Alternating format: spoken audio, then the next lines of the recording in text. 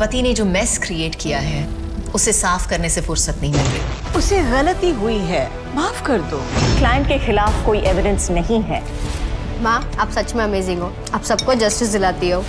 अपने बच्चों के अलावा। हम जैसे की ज़िंदगी में आपके कोर्ट रूम से ज़्यादा संघर्ष होता है मैडम। संघर्ष सबकी ज़िंदगी में होता है। कुछ लोग उसे बहाना बनाते हैं कुछ कामयाबी।